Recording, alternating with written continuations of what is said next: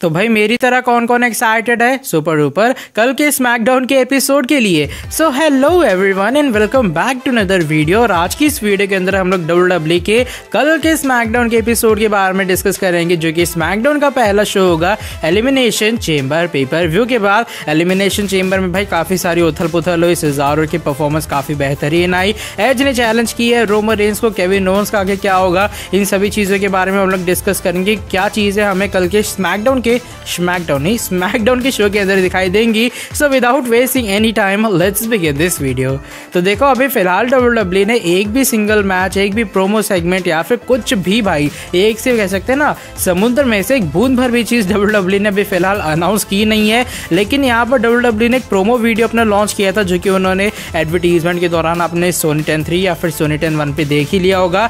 इस promo video को देखने के बाद सिर्फ़ हमें इतना पता लगता है कि कल शो के ऊपर एज होंगे एंड रोमर रेंज होने वाले हैं। और भाई, ये दो वो चीज़ है जिसके कारण मैं एक्साइटेड हूँ कल के शो के लिए, क्योंकि डब्ल्यू डब्ल्यू ने बात अनाउंस की कि देखना ये होगा कि ट्राइबल चीफ का क्या रिस्पॉन्स होता है, जब अल्टीमेट अपॉर्चुनिट अपॉर्चुनिस्ट ऑपर ऑपरचुनिस्ट ऑपरचुनिस्ट ने चैलेंज कर दी है रोमर रेंज को रेसल मीनिया थर्टी के लिए। तो मे भी कल शो की ओपनिंग जो होगी वो रोमर रेंज के साथ ही होगी। रोमर रिंग के अंदर आएँगे, वो एक कॉल आउट कहते हैं ना करेंगे एज को कि भाई तूने मेरे पे हमला कैसे किया? जल्दी आधा रिंग के अंदर। हमें फिर रोमर रेंज है जो आमने सामने आते हुए नज़र आएँगे।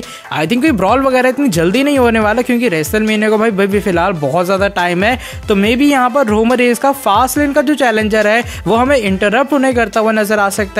और मे बी रोमर रेंज पे वो हमला करता हुआ नज़र आ सकता है। वो चाहे सिजारो हो, चाहे डैनियल ब्रायन हो मे बी डैनियल ब्रायन ही होंगे, क्योंकि ऐसा हो सकता है डैनियल ब्रायन कहेंगे, भाई, मुझे ढंग से अपॉर्चुनिटी तो तूने दी नहीं। एलिमिनेशन चेंबर के पेपर व्यू में तो इसलिए मुझे एक और टाइटल अपॉर्चुनिटी चाहिए और मे बी डैनियल ब्रायन हमें रोमर रेंज के ऊपर अटैक या फिर उन्हें कन्फ्रंट करते हुए नज़र आए, या फिर अगर ऐसा नहीं होता तो हमें जेऊसो एज के ऊपर हमला करते हुए नज़र आए और मे बी शो के मेन इवेंट के लिए एज वर्सेज जे ऊसो का मैच हमें कंफर्म होता हुआ नज़र आए। अब उससे जो है डब्ल्यू डब्ल्यू क्रिएशन के रिटर्न के लिए जो स्टार्टिंग है, वो हमें कल के शो से करते हुए नज़र आएगी और कल के शो में ही हमें पता लग जाएगा कि रोमर रेंस का कौन सा अपोनेंट होगा फास्ट लेन 2021 के लिए। इसके अलावा शो के ऊपर भी फ़िलहाल सेथ रॉलिंस को लेकर भी भाई कोई चीज़ अनाउंस नहीं हुई है, लेकिन यहाँ पर जो मेरी प्रोडिक्शन रहेंगी शो के लिए वो ये कि कल सेथ रॉलिंस आएँगे रिंग के बीचों बीच और वो कहेंगे कि भाई मैंने जो अभी फ़िलहाल कंप्लेन वगैरह की थी पूरे जो डब्ल्यू डब्ल्यू ऑफिशियल्स हैं सिजारो के खिलाफ। मैनेजमेंट का ये कहना है कि काफ़ी जल्दी वो उन पर स्ट्रिक्ट एक्शन लेने वाली है। फिर वहाँ से मैं मे बी सिजारो आते हुए नज़र आ सकते हैं या फिर शिंच के नाकामुरा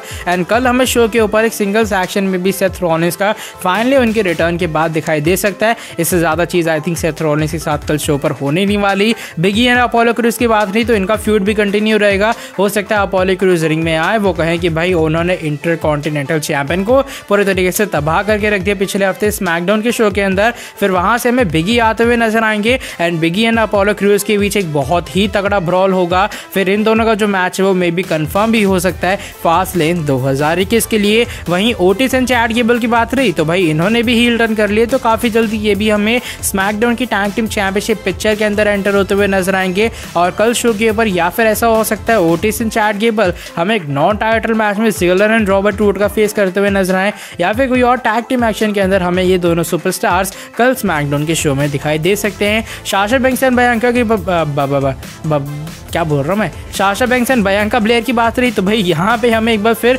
रेजिनल्ड आते हुए नज़र आएँगे। मैं इतना गंदा क्यों बोल गया? रेजिनल्ड आते हुए नज़र आएँगे और फिर से भाई वो जो पुरानी चीज़ें इतने हफ्तों से चल रही हैं, वो हमें आगे कंटिन्यू होते हुए नज़र आएँगी। कारमेला आएँगी। Carmella maybe Sasha bank से एक सिंगल्स मैच में फेस कर रहे हैं, या फिर रेजिनल्ड जो है, वो हमें भयंका ब्लेयर का फेस करते हुए नज़र आए, एक इंटर जेंडर मैच के अंदर। और भाई इससे ज़्यादा आई थिंक शो के ऊपर कल कुछ होने नहीं वाला है। जो डब्ल्यू डब्ल्यू वो ज़्यादातर यही करेगी कि वो रोमर रेंज एंड जो एज का फ्यूड है, उसको एक मेन हाईलाइट बनाए पूरे स्मैकडाउन के एपिसोड की सेथ रॉनिस की, उसके बाद होगी हाईलाइट उसके बाद बिगी एंड अपोलो क्रूज का जो पूरा फ्यूड है। एंड आई थिंक ये कुछ चीज़ें होंगी, कल के स्मैकडाउन के शो के अंदर अभी फ़िलहाल कुछ कंफर्म है नहीं। बाकी भाई, जो आज की जो ये वाली वीडियो थी, बस यहीं तक थी। अगर आपको ये वाली वीडियो पसंद आई तो आप लोग नीचे वीडियो को ऑफकोर्स लाइक कर सकते हैं। आप लोग चैनल को भी सब्सक्राइब कर दो। एंड नोटिफिकेशन बेल को भी प्रेस कर दो ताकि आगे भी आपको हमारे चैनल पर कुछ ऐसी इंटरेस्टिंग कमाल की एंड और भी फ्रेश अपडेट जानने को मिलते रहे। काफ़ी जल्दी मैं मिलता हूँ आपसे स्मैकडाउन के रिज़ल्ट वाली वीडियो के साथ. Till then bye take care